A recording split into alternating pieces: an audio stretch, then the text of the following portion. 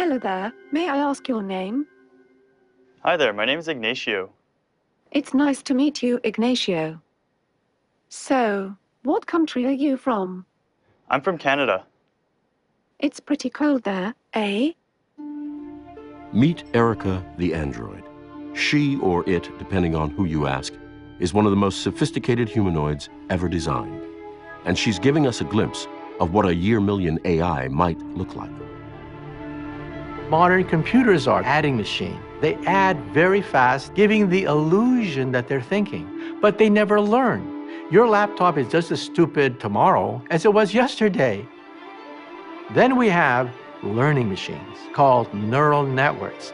It literally rewires itself after learning a task.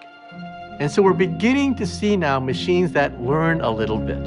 Erica runs on these neural networks. Scientists hope that a computer like her can acquire the subtleties of what a human brain can do, but with all of the power of a digital processor. Technically speaking, I was created as a test bed for researchers to develop Android technologies.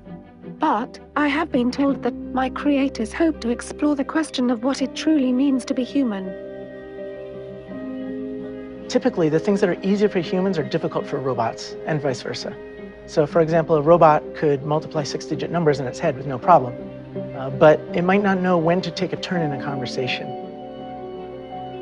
I am interested in art and paintings. Do you enjoy looking at paintings? No, I don't.